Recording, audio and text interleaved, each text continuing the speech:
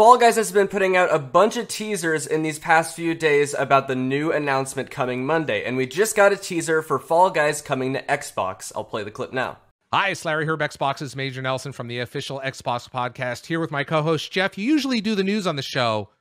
You've got something special, don't you? Yeah, we just heard from the Fall Guys guys that apparently they're planning a live stream they want us to tune into. Rebecca, when is that? It's going to be on Monday. I don't know about you, but I want to tune in and find out what's up. Monday, Fall Guys. What could it be?